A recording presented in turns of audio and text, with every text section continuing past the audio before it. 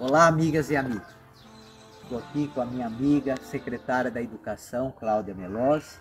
Nós estamos aqui no núcleo Vicente Juliano Minguinho, na creche que está sendo construída.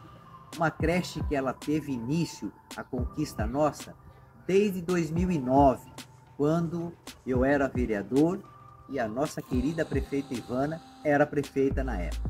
Nós trabalhamos muito para aliviar a demanda de vaga de creche.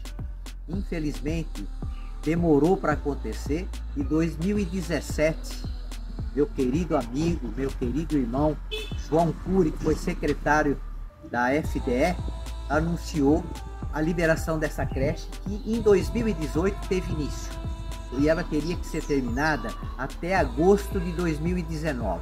Infelizmente até hoje não foi entregue. 2021, quando eu e a Ivana assumimos o compromisso, a gente tirou a empresa que estava aqui dificultando, né? Então veio agora a nova empresa que teve início essa semana e nos próximos meses será entregue essa creche.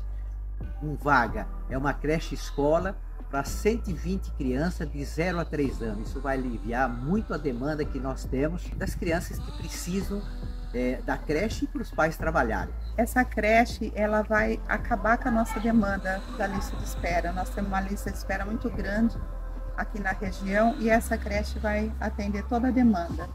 Nós já temos todos os móveis e estamos acompanhando a obra direitinho para atender os pais que precisam, trabalham, estão necessitando muito dessa vaga que as outras creches, nossa, nós não temos espaço físico adequado ainda para atender toda essa demanda.